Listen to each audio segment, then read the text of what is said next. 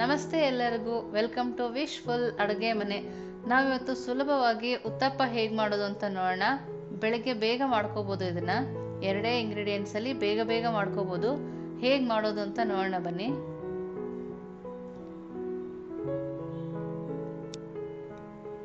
ನಾನು ಮೊದಲಿಗೆ ಒಂದು ಪಾತ್ರೆಗೆ ಒಂದು ಬೌಲ್ ಆಗುವಷ್ಟು ಸೂಜಿ ರವೆ ತಗೊತಾ ಇದ್ದೀನಿ. ಚಿರೋಟಿ ರವೆ ಅಂತಾರಲ್ಲ ಅದೇ. ಒಂದು ಬೌಲ್ ಕರ್ಡು ಅದೇ ಬೌಲ್ಗೆ ನಾನು ನೀರು ಹಾಕ್ತಾ ಇದ್ದೀನಿ. ಸಾಲ್ಟ್ ಹಾಕಿದ್ದೀನಿ.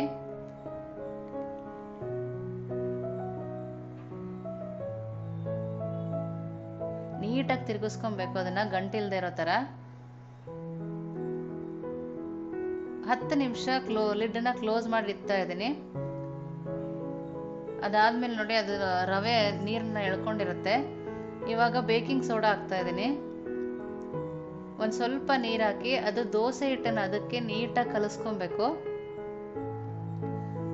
ತುಂಬ ತಿಕ್ಕು ಇರಬಾರ್ದು, ತುಂಬ ತಿನ್ನಾಗೂ ಇರಬಾರ್ದು.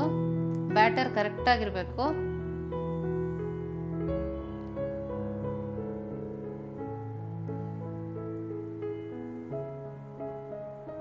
ನೋಡಿ, ಬ್ಯಾಟರ್ ತಿಕ್ಕಿತ್ತು, ನಾನು ಸ್ವಲ್ಪ ನೀರು ಹಾಕ್ತಾ ಇದ್ದೀನಿ ಮತ್ತೆ. ನೋಡಿ, ಇವಾಗ ಬ್ಯಾಟರ್ ನೀಟಾಗಿ ಕರೆಕ್ಟಾಗಿ ಬರುತ್ತೆ. ನೋಡಿ, ಈ ಹದಕ್ಕೆ ಬ್ಯಾಟರ್ ಇರಬೇಕು. ನಾನೊಂದು ತವಾ ತಗೊಂಡಿದ್ದೀನಿ, ಅದಕ್ಕೆ ಸ್ವಲ್ಪ ಎಣ್ಣೆ ಹಾಕ್ತಾ ಇದ್ದೀನಿ. ಎಣ್ಣೆ ಹಾಕಿ ನೀಟಾಗಿ ಸ್ಪ್ರೆಡ್ ಮಾಡಿ ಟಿಶ್ಯೂನಲ್ಲಿ ಒರೆಸ್ತಾ ಇದ್ದೀನಿ. ಮತ್ತೆ ಸ್ವಲ್ಪ ಎಣ್ಣೆ ಹಾಕಿ ಸ್ಪ್ರೆಡ್ ಮಾಡ್ತಾ ಇದ್ದೀನಿ ಅದಕ್ಕೆ, ಪ್ಯಾನ್ಗೆ. ಇವಾಗ ಒಂದು ಸೌಟ್ ತಗೊಂಡು, ಸೌಟಲ್ಲಿ ಫುಲ್ ದೋಸೆ ಹಿಟ್ಟನ್ನ ಹಾಕ್ತಾ ಇದ್ದೀನಿ, ಉತ್ತಪ್ಪ ಹಿಟ್ಟು. ಅದನ್ನು ಜಾಸ್ತಿ ಸ್ಪ್ರೆಡ್ ಮಾಡಬಾರ್ದು, ಸ್ವಲ್ಪನೇ ಸ್ಪ್ರೆಡ್ ಮಾಡಬೇಕು. ಫ್ಲೇಮ್ ಮೀಡಿಯಮಲ್ಲಿ ಇರಬೇಕು. ನಾನು ಇವಾಗ ಸಣ್ಣದಾಗಿ ಈರುಳ್ಳಿ ಕಟ್ ಮಾಡ್ಕೊಂಡಿದ್ದೆ, ಅದನ್ನು ಹಾಕ್ತಾ ಇದ್ದೀನಿ. ಸಣ್ಣದಾಗಿ ಕಟ್ ಮಾಡ್ಕೊಂಡು ಕ್ಯಾಪ್ಸಿಕಮ್ಮು ದಪ್ಪ ಮೆಣಸಿನ್ಕಾಯಿ ಅಂತೀವಲ್ಲ, ಅದು ಹಾಕ್ತಾ ಇದ್ದೀನಿ. ಹಸಿ ಮೆಣಸಿನ್ಕಾಯಿ ಸಣ್ಣ ಸಣ್ಣದಾಗಿ. ಮಕ್ಳಿಗೆ ಕೊಡುವಾಗ ಬೇಕಾದ್ರೆ ಹಾಕ್ದಿದ್ರು ನಡೆಯುತ್ತೆ. ಕೊತ್ತಂಬರಿ ಸೊಪ್ಪು ಸ್ವಲ್ಪ. ಅದನ್ನ ಹಾಕಿ ಚೆನ್ನಾಗಿ ಪ್ರೆಸ್ ಮಾಡ್ಬೋದು. ನೀವು ಇದಕ್ಕೆ ಇನ್ನೂ ಹೆಲ್ದಿ ಮಾಡಬೇಕಂದ್ರೆ ಕ್ಯಾರೆಟ್ ತುರಿ ಕೂಡ ಹಾಕೋಬಹುದು ನಾವು ಇದಕ್ಕೆ ವೆಜಿಟೇಬಲ್ ಎಲ್ಲ ಹಾಕ್ತಿರೋದ್ರಿಂದ ತುಂಬಾ ಹೆಲ್ದಿ ಆಗಿರುತ್ತೆ.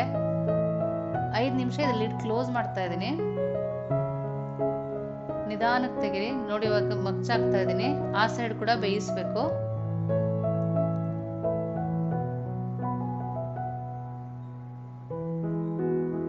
ನೋಡಿ ಇವಾಗ ರೆಡಿ ಆಗಿದೆ. ನೋಡಿ ಎಷ್ಟು ಚೆನ್ನಾಗಿದೆ ಹೆಲ್ದಿ ಆಗಿರುತ್ತೆ. ಮಕ್ಕಳು ಕೂಡ ತುಂಬ ಇಷ್ಟಪಟ್ಟು ತಿಂತಾರೆ. ನಾನು ಅದೇ ರೀತಿ ಇನ್ನೊಂದು ತೋರಿಸ್ತಾ ಇದ್ದೀನಿ. ನೋಡಿ ಈರುಳ್ಳಿ ಕ್ಯಾಪ್ಸಿಕಮ್ಮು ನೀವು ಕ್ಯಾರೆಟ್ ತುರಿಬೇಕಾದ್ರೂ ಹಾಕ್ಬೋದು, ಕೊತ್ತಂಬರಿ ಸೊಪ್ಪು. ಸ್ವಲ್ಪ ಎಣ್ಣೆನ ಹಾಕಬೇಕು, ಕೆಳಗಡೆಯಿಂದ ಅದು ನೀಟಾಗಿ ಬರಲಿ ಅಂತ.